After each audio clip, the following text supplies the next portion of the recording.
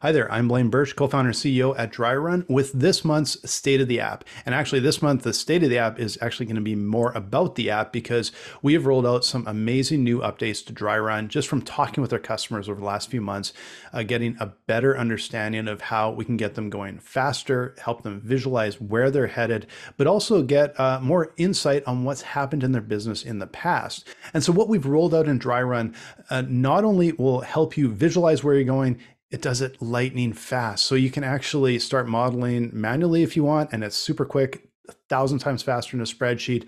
But most importantly, you can import your data and you have way more options of how you want to see your data, how you want to classify your data, organize it, but it will only take you a couple minutes to do this.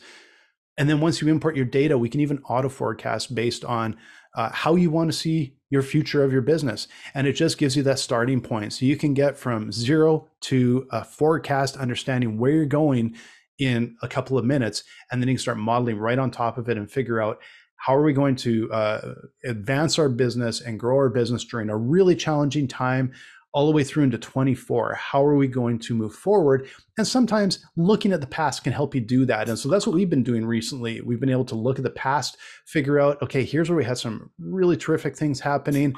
Uh, how do we translate some of that to now where it's challenging time for businesses?